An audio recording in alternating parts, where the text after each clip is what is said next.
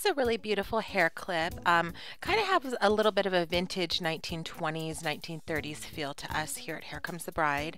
Um, it has these beautiful silk flowers, um, embroidered flowers, and then it's accented with these gorgeous rhinestone detail.